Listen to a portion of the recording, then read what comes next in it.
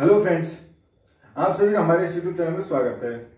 Friends आज हम पढ़ने वाले हैं डिफरेंशियल कैलकुलस का लेक्चर नंबर थ्री इसमें हम पढ़ने वाले हैं एलजेब्रा ऑफ़ डेरिवेटिव इससे पहले जो लेक्चर थे, उसमें हमने डिफरेंशियल डिफरेंशिएशन क्या होता है डेरिवेटिव क्या होता है, उसकी डेफिनेशन एवं उसके, उससे रिलेटेड कुछ थ्योरम्स पढ़ी थी, वो आप लेक्चर देख सकते हो। अब थर्ड लेक्चर में हम पढ़ने वाले हैं इससे कुछ एलजेब्रा यानी कुछ प्रॉपर्टीज़ इनको फॉलो करता है। If the function F and G define on A B कोई फ़ंक्शन है एफ़ वो डिफाइन है ए और बी पे. And be differentiable at any point C belongs to A B यानी पूरे जो इंटरवल में है ए बी इस पूरे इंटरवल में क्लोज इंटरवल में फ़ंक्शन जो एफ़ और जी जो फ़ंक्शन है, वो हमारे पास डिफरेंशिएबल है. देन उस कंडीशन में फ़ंक्शंस का सम और minus F plus G and F minus G दोनों एफ़ डॉट जी यानी दोनों का multiply and F by G, यानी एफ़ अपॉन जी, ज़ीरो की डिवाइडेड में है। एक डिफरेंशिएबल एट सी तो उस कंडीशन में ये तीनों जो है वो डिफरेंशिएबल होंगे सी पॉइंट पे। एंड उनको डिफरेंशिएशन किस तरह शो करेंगे हम? अगर derivative of F plus minus G देखेंगे तो F dash G plus minus G dash G यानी अगर एफ़ डेरिवेटिव निकाल रहे हैं दो दो फ़ंक्शन के सम का तो उस कंडीशन में डेरिवेटिव दोनों के सम का अलग अलग हो जाएगा। और अगर माइनस कर रहे हैं तो दोनों के जो साइन है, वो माइनस रहेगा बट डेरिवेटिव दोनों अलग अलग हो जाएँगे। और एफ़ डॉट जी का निकाल रहे हैं तो पहले हम क्या करेंगे? एफ़ डैश सी जो पहले फ़ंक्शन है, उसका डेरिवेटिव निकालेंगे, और सेकंड फ़ंक्शन है, उसको छोड़ देंगे ओनली सी पे वैल्यू निकाल लेंगे उसकी। इस तरह प्लस लगा के एफ़ डॉट सी यानी पहले फ़ंक्शन को सी पे छोड़ देंगे, और जी डैश सी की वैल्यू निकाल लेंगे। तो इस तरह से F G D F upon G निकालेंगे तो पहले जी को हम छोड़ देंगे G C and F dash C minus G dash C यानी जी का डेरिवेटिव निकालेंगे और एफ़ को छोड़ देंगे। Upon G C square provided G C not equal to zero यानी जी सी जो वैल्यू है, वो नॉट इक्वल टू ज़ीरो होनी चाहिए। अगर G C equal to zero हो, उस कंडीशन में डेरिवेटिव एग्जिस्ट नहीं करेगा। तो यहाँ पे ये कंडीशन है हमारे पास G C not equal to zero अब फ्रेंड्स इनका प्रूफ पढ़ते हैं हम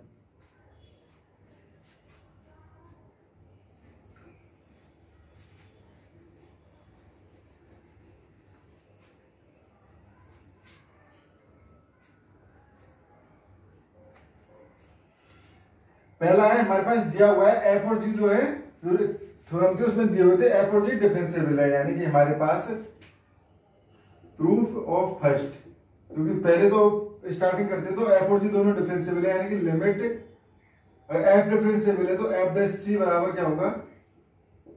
Limit X tends to C F X minus F C upon X minus C ये फ्रेंड्स और जी डैश भी डिफरेंशिएबल है तो जी डैश सी बराबर जी डिफरेंशिएबल है तो यहाँ से कह सकते हैं F G C G X minus G C upon X minus C और जहाँ पे लिमिट एक्स टू सी यानी दोनों हमारे पास डिफाइन है क्योंकि डिफरेंशिएबल है तो ये दोनों वैल्यू एग्जिस्ट करेंगी। अब हमें देखना है इन दोनों का सम यानी हमें देखना है अब फ़र्स्ट पे हम बात करते हैं इस पे तो ये हो जाएगा हमारे पास F plus G F plus minus G X तो इसको अगर हम डिफरेंशियल चेक करना है तो हमें चेक करना है limit X tends to C क्योंकि फ्रेंड्स यहाँ पे एफ़ और जी दोनों डिफरेंशिएबल है।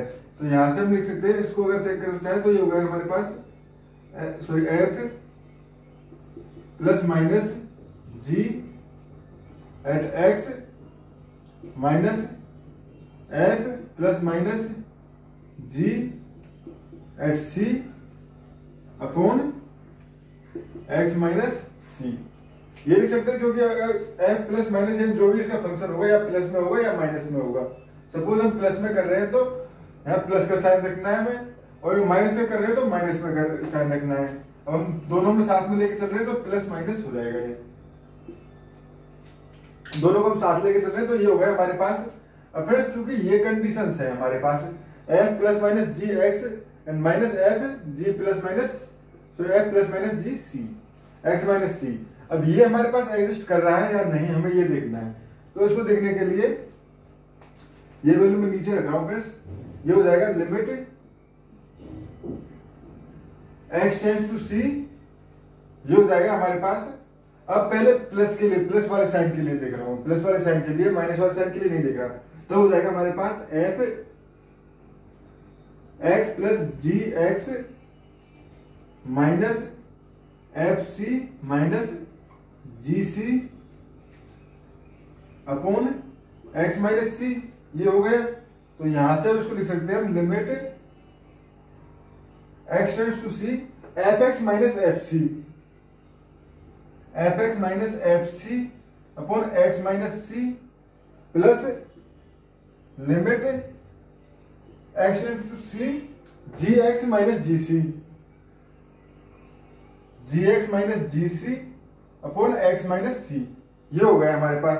क्योंकि तो एफ़ यहाँ से F X minus F C लिख लिया और जी एक्स माइनस जी सी और दोनों को अलग अलग लिखा तो जी एक्स माइनस सी का एक बार इससे डिवाइड हो गया और एक बार इससे डिवाइड हो गया। अब फिर चूँकि ये हमारे पास डिफरेंशियल है ये दोनों चीज़ें एग्जिस्ट कर रही हैं तो यहाँ से हम कहेंगे ये जो वैल्यू है, वो हमारे पास एफ़ डैश सी के इक्वल है, ये प्लस जी डैश सी के इक्वल है। तो यहाँ से हो गया हमारे पास, जब डेरिवेटिव में हमारे पास प्लस का साइन था ओनली तब F dash C plus G dash C आ गया। तो ये हो गया हमारे पास।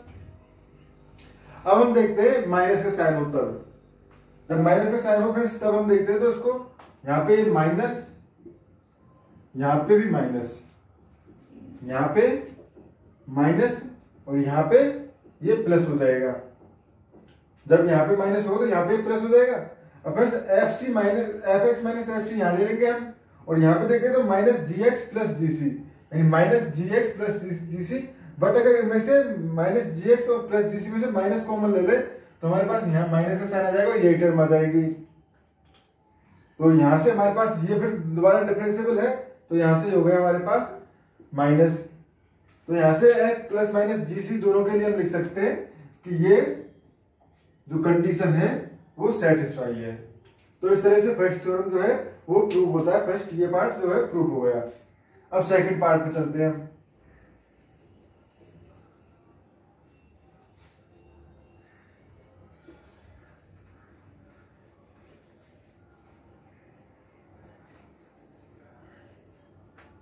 अब फिर सेकंड पार्ट है इसका मल्टीप्लाई तो पहले इसकी जो डिफ्रेंसिएशन की वो वो तो इसी तरह से डिवाइड होगा डिफाइन होगी इसकी definition X tends to C हो जाएगा एफ़ डॉट जी एक्स या इसको हम इस तरह से लिख सकते हैं फ्रेंड्स एफ़ डॉट जी का मतलब ये है, दो फ़ंक्शन का मल्टीप्लाई हो रहा है तो F X dot G X क्योंकि यहाँ पे एफ़ डॉट जी का मतलब एफ़ फ़ंक्शन ऑफ़ जी नहीं है friends F function of G ये वाला टर्म नहीं है फॉग और गॉफ वाली कंडीशंस नहीं है यहाँ पे। यहाँ पे सिंपली हमारे पास एफ़ डॉट जी यानी दो फ़ंक्शन का मल्टीप्लाई हो रहा है। उस कंडीशन हम कर रहे हैं।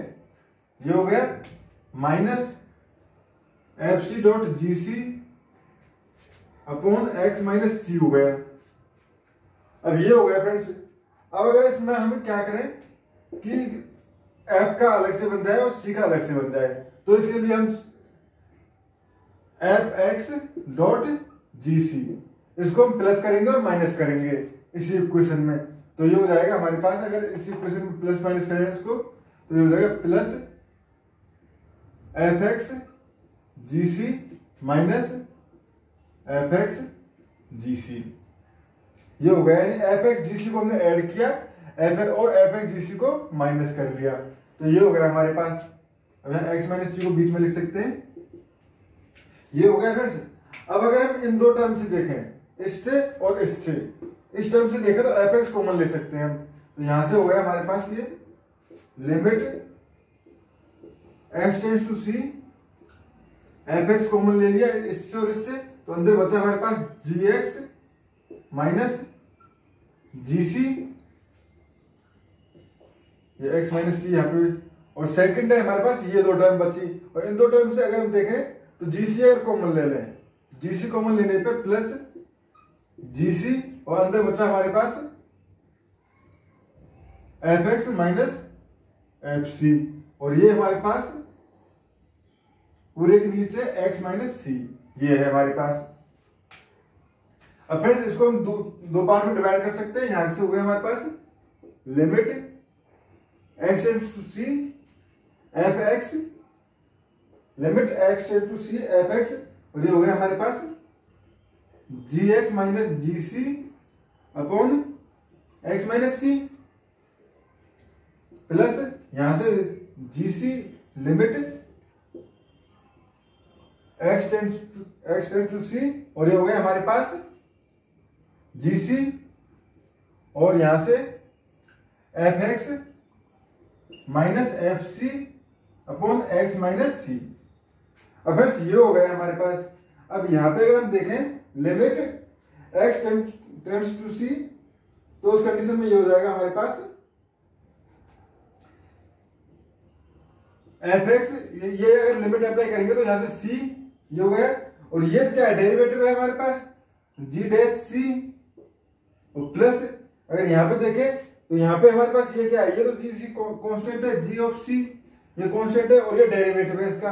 तो हो गया एफ़ डैश सी जो हमने, जो हमारे पास थ्योरम थी, ये इसी के इक्वल है फ्रेंड्स ये हो गया हमारे पास, जो कि हम प्रूव करवा रहा था। यानी अब देखें तो f dash c f dash c g c दोनों का मल्टीप्लाई ये है, और ये दोनों का मल्टीप्लाई ये रहा। तो इस तरह से हम इसके डेरिवेटिव को भी डिफाइन कर सकते हैं। क्योंकि कोई दो फ़ंक्शन हो एफ़ उनका multiply f x dot g g x equal to g x dot f x होता है। अगर कोई सिंपल नॉर्मल फ़ंक्शन होंगे तो उस कंडीशन में उनका मल्टीप्लाई कम्यूटेटिव कम्यूटेटिव होगा। तो कम्यूटेटिव की प्रॉपर्टी से इसको हम चेंज कर सकते हैं और चेंज करके इस फॉर्म में लिख सकते हैं। तो इस तरह से हमारे पास ये सेकंड पार्ट भी ट्रू हो गया। अब हम थर्ड की बात करते हैं।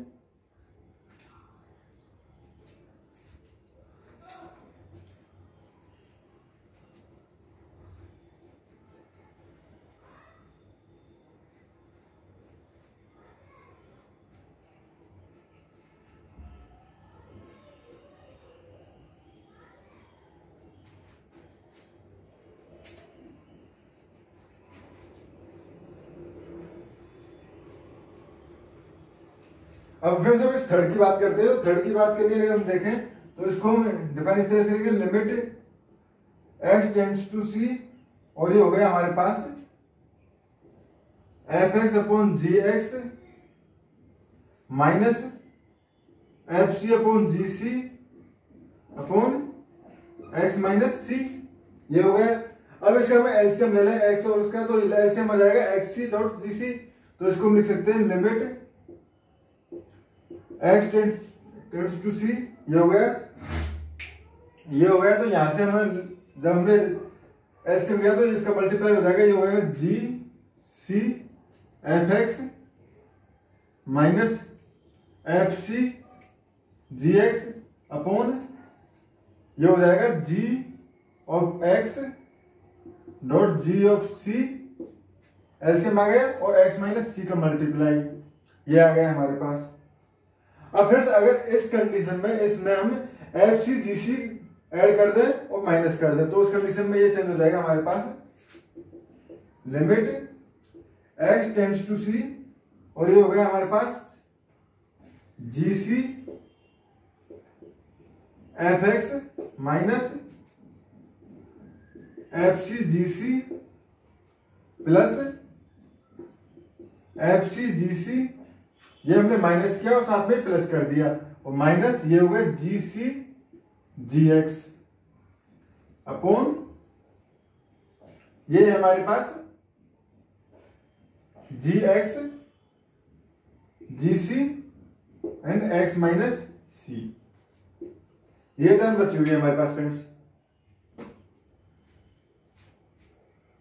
अब फ्रेंड्स अगर हम देखना चाहें तो यहाँ से अगर हम जीसी कॉमन लेना चाहें तो जीसी कॉमन ले सकते हैं तो यहाँ से हमने जीसी कॉमन लिया तो ये हो जाएगा limit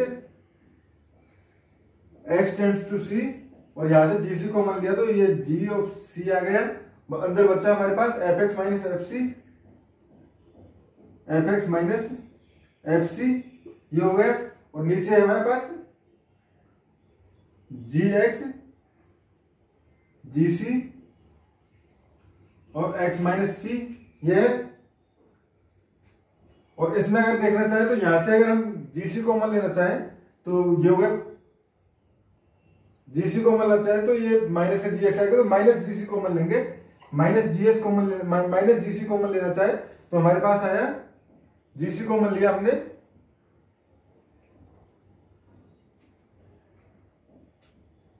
तो फ्रेंड्स जीसी कॉमन लिया, यहाँ से।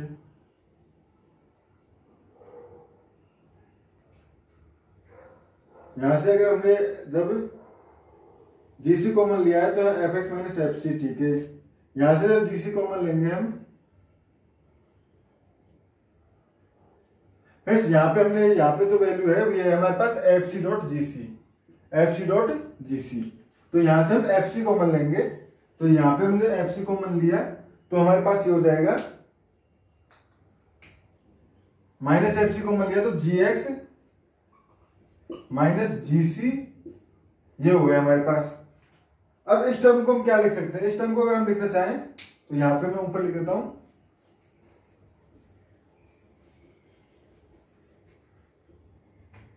ये हो गया हमारे पास limit x tends to c और ये हो गया यहाँ से हमारे पास अगर इसको जी सी और इसको लिखना चाहें f x minus f c upon x minus c upon g x, g c लिख सकते हैं इसको। क्यों लिख सकते हैं? क्योंकि हम एक्स माइनस सी को अगर दोबारा नीचे लाना चाहे तो ला सकते हैं। तो इस फॉर्म में लिख दिया हमने। माइनस, फिर इसके बाद एफ़ सी। और यहाँ से g x minus g c, x minus c upon g x, g c. और यहाँ पे माइनस लिमिट है। एक्स टेंस टू सी यानी हमने लिमिट को दो पार्ट में डिवाइड कर लिया है और यहाँ से ये हो गया हमारे पास। अब फिर से अगर लिमिट अप्लाई करते हैं हम तो यहाँ पे अगर लिमिट अप्लाई करते हैं तो हमारे पास ये आ जाएगा। लिमिट अप्लाई की तो जी ऑफ़ सी और ये क्या है? एफ़ डेस सी तो ये एफ़ डेस सी माइनस यहाँ से एफ़ सी और ये क्या है? जी डेस सी ये टू टर्म और नीचे क्या बचा यहाँ पे? यहाँ पे जब लिमिट अप्लाई की तो जी सी स्क्वायर और यहाँ पे भी जी सी का स्क्वायर या इसको एक साथ में लिखना चाहे तो इसको एक साथ में भी लिख सकते हैं। इस तरह से यहाँ से जी सी का स्क्वायर तो ये हमारे पास जो इसमें प्रूव करवा रहा था g c f dash c minus f c f c plus g dash c तो ये हमारे पास प्रूफ हो गया। तो इस तरह से हम किसी भी फ़ंक्शन के डेरिवेटिव की जो अलजेब्रा है, इस तरह से हम निकाल सकते हैं। एफ़ यू डॉट बी इनको basically u b u plus minus b and u by b इस नाम से भी जानते हैं। यानी इन फॉर्मूले फॉर्मूलों को इन नाम से नामों से भी जाना जाता है। Thank you friends